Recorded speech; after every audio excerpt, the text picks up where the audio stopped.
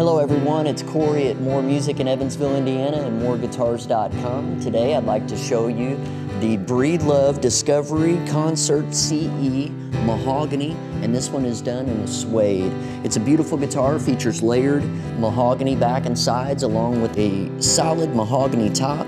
Has a really nice Fishman Presys preamp on it.